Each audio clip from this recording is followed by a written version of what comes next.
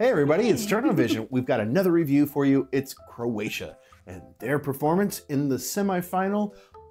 Are you ready? Here we go. Oh wow, they're not wasting any time. Oh, look at his outfit. That shirt looks amazing. wow. Bougie. An empire of doilies.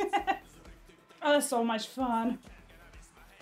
He sounds here better than what was in Nationals. Yeah, I agree. All the colors in the, in the background are, are great. Yeah. They do this mixture between this, you know, monochromatic white and black kind of stuff, and then mm-hmm. they bring the color in during the chorus. It's a great light display. Yeah, it's it's a great contrast. Yeah. His vocals do sound better here. It, it- mm-hmm. like he's more pronounced. You can hear him over the music. I think his vocals kind of blended into the to the music too much during the mm-hmm. finals performance, and they're really clear here. Yeah, it's improvements all over. Mm-hmm. In each detail, they kept the same concept, but just br- brought it to perfection. Yeah. Oh yeah, bring us that energy. Love that drummer. That's a cool part. Here comes the fun dance.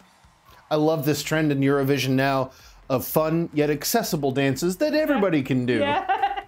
TikTok, go for it. This song just has that it factor about it. Yeah. You know, you can't really necessarily put a finger on exactly what makes it special, but it's the whole thing. It's the it's infective. The way it kind of gets into your head. You can't help yourself but sing this song over and over again once you hear it. Those cats, yeah, go. I mean, this feels like a rock and roll concert.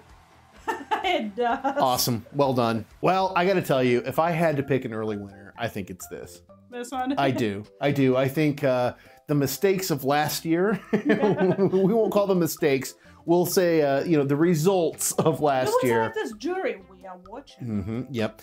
I think that this has a strong chance. Uh, I think this is an infectious song. I think this song is an earworm, and I think people can't get enough of it. And I think by the time the finals rolls around, I think this is going to be the winner. Yeah, they created the whole following. The whole, Mhm. There is the whole philosophy to this. There's Yes. a good story. There is like the dance. There is all this thing about like say meow. Like you know, Mhm. like there's so many small details that create the whole like little world around the song. Yeah. It's it's amazing. Well, I think the song also takes advantage and is a good summary of modern Eurovision trends. Yeah. And that's what I think makes it so likable, so mm-hmm. popular. It's following the things that everybody's really liked from the last year or two.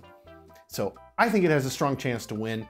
But what do you think? Let us know in those comments as always. Like, subscribe. We'll see you next time. Turnovision's out of here. Don't forget to meow in the comments. Bye.